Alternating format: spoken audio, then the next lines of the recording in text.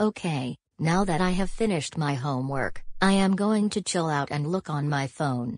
Okay, let's check my social media. Hmm, Looks like I have a new comment on my Instagram post, let's see what it says. What the? Who is this person and just what is their problem? Let's see if they've made any other comments on my posts.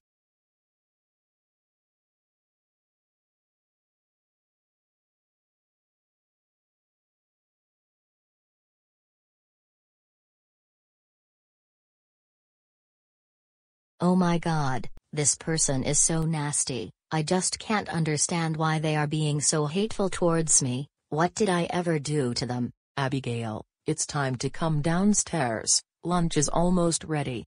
Oh no, what's wrong Abigail, why are you crying? Some person was leaving some very nasty comments on my Instagram posts. They said my posts are crap and said I didn't deserve to have a lot of followers. They also threatened to kidnap me if I didn't stop posting to my account. What? Let me see this. Oh, mom, please, don't get involved. You'll only make things worse. Well, I'm sorry, Abigail, but I am not having anyone speak to you that way, so give me the phone and let me deal with this person.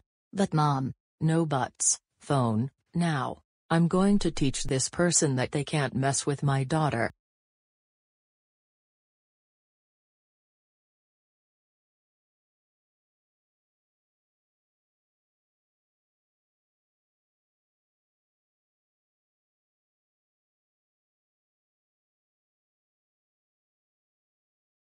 There, hopefully, that should put an end to all this. How dare that grown man threaten a 13 year old girl? I don't understand why they could say such hurtful things. What did I ever do to them? You did nothing, nothing at all. They are probably jealous or got nothing better to do with their time than to harass an innocent teenage girl just for posting to her social media. But don't let it bother you too much, they're obviously just a sad individual with too much time on their hands. I'm just scared that you laying into them will make things worse.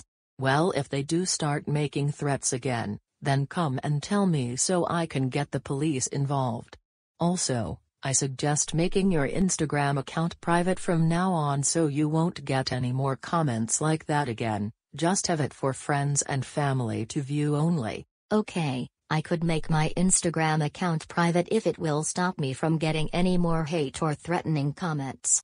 You're doing the right thing.